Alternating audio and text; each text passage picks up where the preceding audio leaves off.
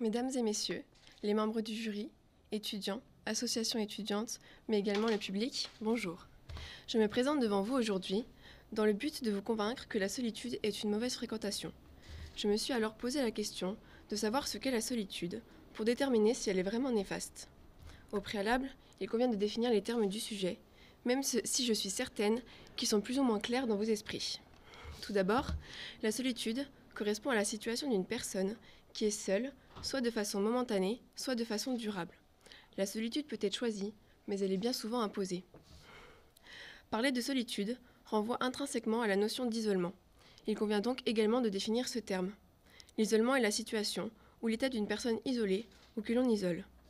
L'isolement peut survenir à n'importe quel moment dans notre vie. Ce sentiment de solitude se déclenche pour diverses causes. Une période de chômage, des problèmes familiaux, une addiction aux réseaux sociaux, une addiction aux jeux vidéo, une rupture amoureuse, un décès ou encore une maladie. Ensuite, en ce qui concerne la notion de mauvaise fréquentation, celle-ci m'a posé plus de difficultés, car il n'y a pas vraiment de définition. Alors, je vais vous livrer mon interprétation de cette notion, à savoir que selon moi, une mauvaise fréquentation représente une influence néfaste. Pour commencer, la solitude est liée au manque. En effet, l'idée première, le mot-clé qui vient à l'esprit de façon spontanée quand on pense solitude, privation ou absence, c'est le manque. Évidemment, d'autres idées émergent telles que tristesse, désarroi, chagrin, et bien d'autres. Les emblèmes de la solitude du manque sont les veuves, veufs, personnes âgées, chômeurs, personnes malades. Car ces figures emblématiques de la solitude du manque craignent de perdre une caractéristique particulière, telle que pour certains les relations familiales, pour d'autres le travail, pour d'autres encore la santé. Il y a une origine historique à la mauvaise image que l'on attribue à la, à la solitude. En effet, si on se place au Moyen Âge et qu'on regarde les sociétés féodales par exemple, la façon habituelle de vivre, c'était d'être vraiment dans une sociabilité extrêmement serrée. Par exemple, il n'y avait pas de chambre attribuée aux gens, il n'y avait même pas de lit attribué. Donc on dormait ensemble sur les mêmes couches. Ainsi, à cette époque, le fait d'être seul était une chose tout à fait anormale, et même les gens qui erraient seuls étaient considérés comme fous. Ensuite, au regard de l'évolution d'une personne, de sa naissance à l'âge adulte, en passant par l'adolescence, la solitude peut être tout à fait néfaste. L'homme a peur de se retrouver seul, ou en tout cas considère cette situation comme tout à fait anormale. L'espèce humaine est une espèce particulièrement sociale. Il est vrai que nous sommes des animaux grégaires ayant donc tendance à vivre en groupe. Pour vivre, l'homme a besoin d'interagir avec les autres, mais aussi et surtout pour se construire, et cela dès les premiers jours de sa vie. Prenons l'exemple de l'enfant. Ce dernier a besoin d'interagir, notamment avec sa maman dans les premiers temps, et si on le prive de cela, les conséquences sont lourdes. Un enfant a besoin du regard de l'autre afin de se réguler. Il lui faut donc de l'interaction, du répondant en face de lui.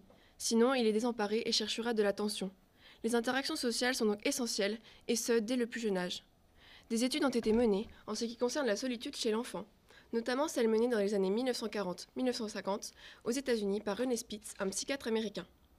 Ces études montrent des enfants dans des orphelinats privés de tout contact parentaux, mais également sociaux, puisque privés du relais au niveau du personnel soignant, à l'époque alors inconscient de cet enjeu vital. Les enfants ne bénéficiaient que de soins sommaires. Ils ont alors observé que les enfants régressent, se réfugient dans le silence et la solitude, jusqu'à pour certains se laisser complètement dépérir. Ainsi, l'enfant a besoin de se sentir en sécurité pour assumer son autonomie et partir explorer. Donc, il doit pouvoir s'appuyer sur les autres pour ensuite s'émanciper. De ce fait, si l'enfant est isolé dès son plus jeune âge, il ne s'autonomise pas, ne s'émancipe pas, n'évolue donc pas. Cette solitude est alors tout à fait néfaste. Quand on arrive à l'adolescence, cette période peut également basculer dans une solitude pathologique, qui n'est autre qu'une mauvaise fréquentation. Une solitude que vivent par exemple les hikikomori au Japon, qui sont des adolescents ou des jeunes adultes japonais incapables de supporter pressions sociales et scolaires et qui s'isolent pendant des mois, voire des années. Les hikikomori ne sont pas les seuls adolescents ou jeunes adultes victimes de cette solitude pathologique. En effet, de nombreux jeunes partout dans le monde s'isolent pendant des mois, parfois des années, cloîtrés dans leur chambre, à jouer à des jeux vidéo. Cette solitude est néfaste lorsqu'elle isole complètement le jeune de tout lien social, de toute interaction. Le jeune n'a plus aucun projet d'avenir, si ce n'est qu'on lui fiche la paix afin qu'il puisse jouer à ses jeux vidéo. Il s'agit alors d'une véritable addiction qui isole totalement le jeune dans une bulle hermétique qu'il est impossible de percer. Cette addiction est encore plus néfaste que l'addiction à l'alcool ou aux drogues, car ces deux dernières ne privent pas totalement de lien social. Tandis que dans le cas de l'addiction aux jeux vidéo, Il y a un refus actif de tout lien social qui rend quasiment impossible l'intervention thérapeutique directe. Ainsi, on ne peut que difficilement grandir dans la solitude. Le rapport aux autres est essentiel dans le développement de l'enfant, de l'adolescent et du jeune adulte. Le regard des autres reste un élément central pour l'équilibre personnel. Et même plus tard, à l'âge adulte, appartenir à un groupe, se sentir considéré, permet de garantir une bonne estime de soi. Ce n'est pas parce que l'on est bien entouré que la solitude n'existe pas. La solitude est un ressenti.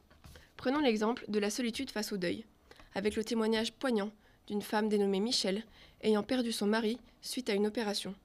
Pour elle, c'est la solitude que l'on ressent lorsque l'on ferme la porte de chez soi et que plus personne n'est là.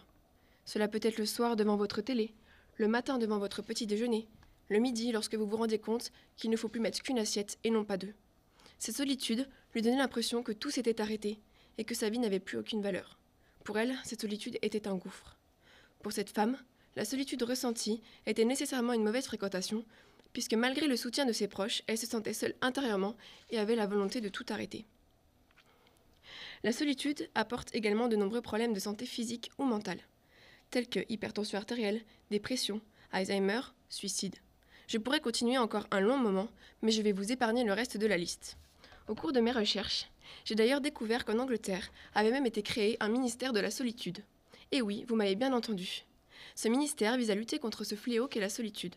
Alors, si la solitude n'était pas une mauvaise fréquentation, aurions-nous besoin de créer de telles institutions?